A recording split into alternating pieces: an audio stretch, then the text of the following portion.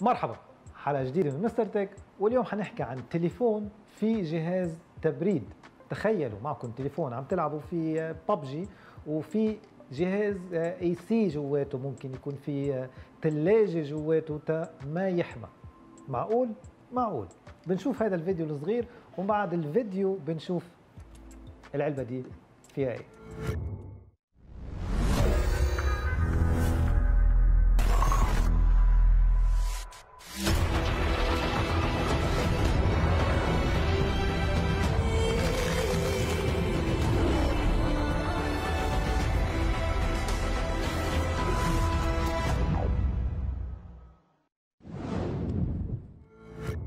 خلينا نشوف وبالطريقة اللي دايما بنحب نفتح فيها العلبة الطريقة اللي هي من غير سكين ومن غير هيك بإيدينا ونسمع صوت الخرفشة.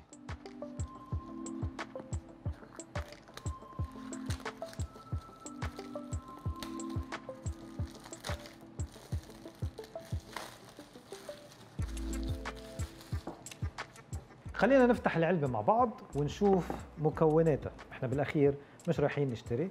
علبة. أول شيء ال design حلو اللون حلو الأصفر اللي موجودة فيه هذا حلو. أه هلا بنشوف شو في محتويات هون. التليفون.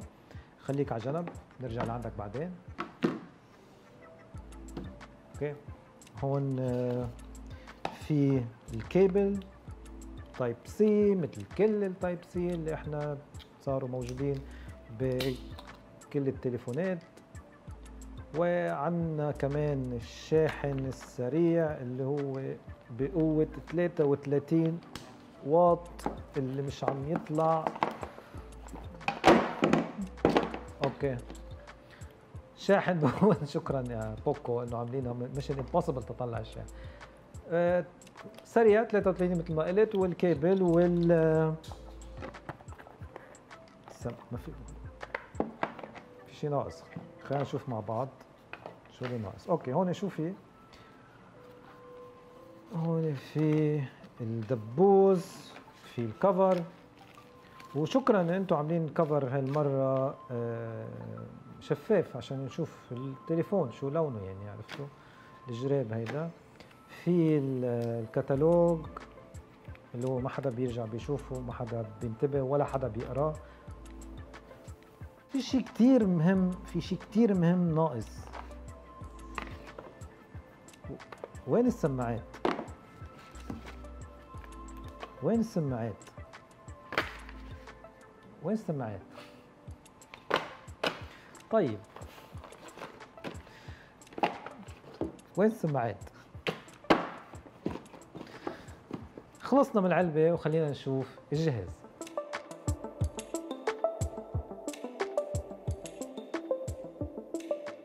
أول شيء خلينا نحكي عن التصميم للتليفون من بعد ما نشيل ونسمع مع بعض هذا الصوت الحلو.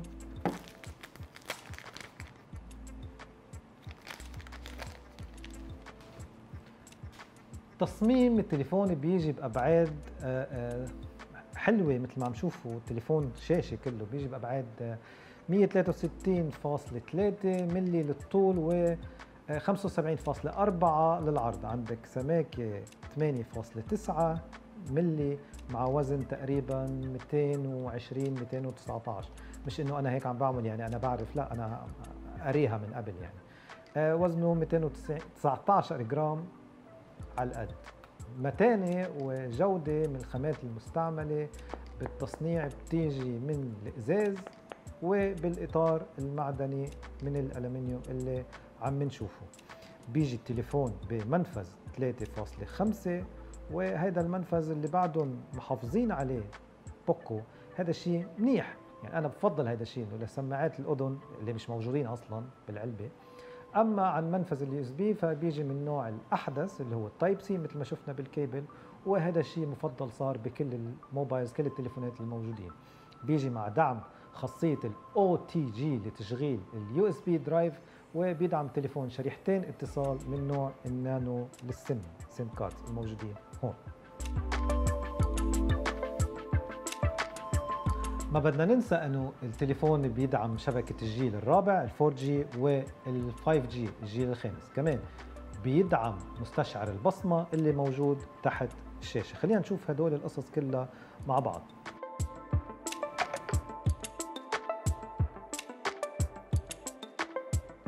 التليفون بيتوفر بعدة ألوان عن ال cyber gray عن ال purple في ال phantom white وفي ال blue. في كتير خيارات تانية فيكم تشيكوا على هذا الموضوع حسب ال store تبع آه، آه، ال Poco الموجود آه، أونلاين. الشاشة بتيجي بمساحة 6.76 إنش وجودة ال Full HD Plus بدقة 2400 ب 1080 بكسل بمعدل تحديث 60 هرتز وبمعدل كثافة بكسلات 395 بكسل لكل إنش في وجود طبقة حماية لنوع الشاشة من Gorilla Glass اللي بتقدم تجربة جيدة جدا بشكل عام سواء كانت بالألوان أو بال brightness السطوع تبعون الشاشة. الشاشة بتدعم ال HDR10 Plus. خبرية جديدة بس قبل ما ننقل على النقطة الثانية الشاشة بتحتل نسبة 92.7 من الواجهة الأمامية للتليفون. بتدعم أبعاد العرض الجديدة اللي هي 20 ل 9 مع حواف بتكون مش موجودة. نسيت كنت هذه الشغلة أولى حبيت لكم إياها. رقم كتير كبير 92 ووصلنا للأداء وهون عم نحكي عن تليفون بيشتغل بنظام أندرويد.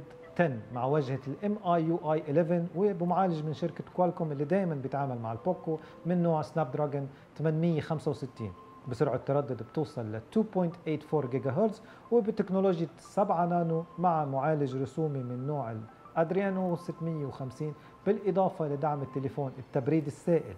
وهون بدنا نوقف شوي. تبريد سائل هيدا بيحافظ على حرارة التليفون إنه ما يحمى معك خلال الاستعمال اليومي إذا كنت عم تلعب جيمز مثل مثلا ببجي أيام بعد فترة بتحس التليفون حمي. بهيدا التليفون وبهي الخاصية اللي هن عندهم إياها هذا الشيء ما بيصير. بتوفر التليفون باكثر من إصدار من الذاكرة الصلبة والذاكرة العشوائية. الإصدار الأول بيجي بذاكرة صلبة بسعه 128 جيجا بايت من نوع ال UFS 3.1 مع ذاكرة عشوائية 6 جيجا من نوع ال بي دي دي ار 4 إكس الإصدار الثاني اللي هو معنا هلأ بيجي بذاكرة صلبة بسعه 256 جيجا بايت من نوع ال UFS 3.1 مع ذاكرة عشوائية بسعه 8 جيجا بايت من نوع نسمع ال بي دي دي ار 5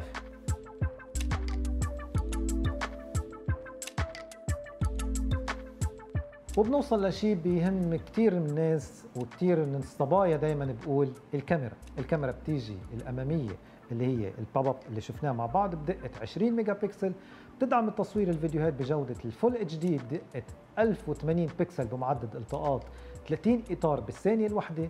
كمان بتدعم التصوير ال HD بدقة 720 بكسل بمعدل التقاط 30 إطار في الثانية. تدعم تصوير ال slow motion بجودة ال HD بدقة 720 بكسل وبمعدل التقاط 120 إطار في الثانية. أما الكاميرا الخلفية بتيجي رباعية العدسات شكلها هيك مثل الفضائي كأنه. أول واحدة بتيجي 64 ميجا بكسل عدسة بتيجي 1.9 F بمستشعر ال Sony IMX 686 أو هيدي هي الكاميرا الأساسية. أما الكاميرا الثانية بتيجي بدقة 13 ميجا بكسل بفتحة عدسة f 2.4 وهي الخاصة بالتصوير الواسع ولل wide اللي موجودة لل wide angle موجودة بالكاميرا. أما الكاميرا الثالثة بتيجي بدقة 5 ميجا بكسل بفتحة عدسة f 2.2 وهيدي الخاصة بالتصوير ال macro اللي موجود لاذا بنصور شيء صغير. أما الكاميرا الرابعة بتيجي بدقة 2 ميجا بكسل بفتحة عدسة f 2.4 وهي الخاصة بعمل العزل والبورتريه اللي كثير منا بيحبوا وبيكون مبسوط فيه خاصة الصبايا بيجي فلاش واحد آه، من نوع ال LED موجود تحت الكاميرات.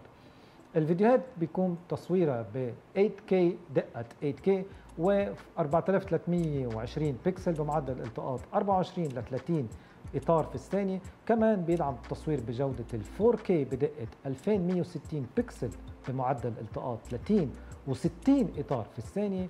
كمان بيدعم التصوير بجودة ال Full HD بدقة 1080 بكسل بمعدل التقاط 30 ل 60 إطار في الثانية.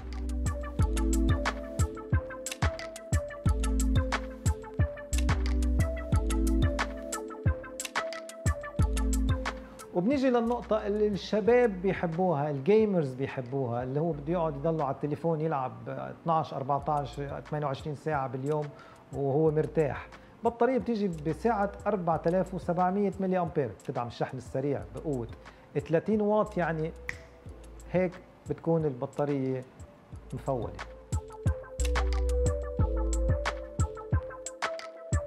كثير أيام بيجيني أسئلة شو عيوب الجهاز وليش ما بتحكي عنه قدام العالم وليش هيدي القصص بتخبيها؟ لا ما في شيء بدي تخبى مع مستر تك عيوب للجهاز ما في. دائما بقول يمكن الشيء بالنسبة لي يكون عيب هو لك منه عيب. يعني إذا بدنا نقول مثلا إنه ما في شاحن آه، لاسلكي فيه.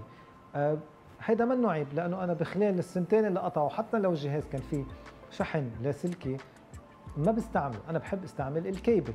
الشيء اللي زعجني بس بالموضوع إنه موجود الفتحة ال 3.5 للسماعات والسماعات مش موجودين. هذا الشيء فيك تستعيض فيه. حلو هي كلمة تستعيض. وإنك تشتري أو تكون عندك سماعات قديمة تستعملها. بس يعني مبدئيا هذا هو. ما في شيء ثاني أحكي عنه.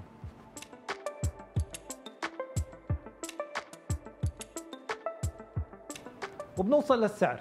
وهون السعر عم نحكي عن دولة الإمارات. سعر التليفون نسخة ال 6 جي رام اللي هو 128 الذاكرة التخزينية داخلية بيجي سعره 2199 درهم إماراتي. أما نسخة ال 8 جي رام اللي هو 256 ذاكرة تخزينية واللي هو معنا هلأ عم نستعمله بيجي سعره 2399 درهم إماراتي. الفرق مش كتير وأنا كبرجح أو بقول لكم أفضل تجيبوا النسخة الثانية منه لأنه الفرق كتير بسيط بينما بالسعر فرق بسيط بينما الفرق كاوبشنز كثير كبير.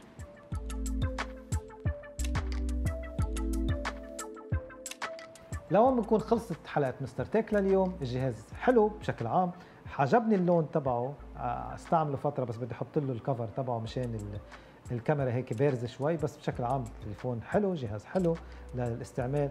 عجبتني قصة إنه الشاشة كلها ما فيها نقط ما فيها محلات للكاميرا. أنت عم بتشوف شاشة بشكل عام.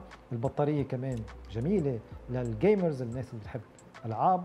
أه بس هيك كان كل شيء لليوم مع Mister Tech كان معنا ال Poco F2 Pro حلقة جديدة الجمعة الجاي مع Mister Tech و bye